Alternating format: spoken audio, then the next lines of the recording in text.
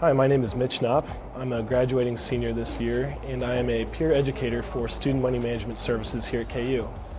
I'm here with Taylor Bettles, and she is one of the students that we assisted last semester with her financial situation.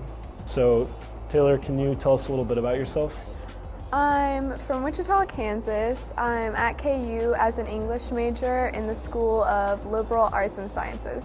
How did you hear about Student Money Management Services? I was actually enrolled in an introduction to KU class last semester called Pre 101 and Student Money Management Services had a presentation in that class and I thought it was really interesting and I liked what they had to say. So that's how I heard of it. What made you decide to use this service on campus? As a freshman in college, I definitely don't manage my money very well. I've never really had to before.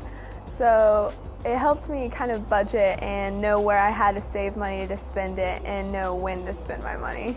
How did student money management help you last semester? We set up a budget and that way I was able to save and not spend my money just on anything I felt like.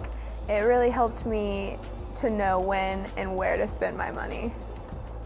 Will you be using the services again?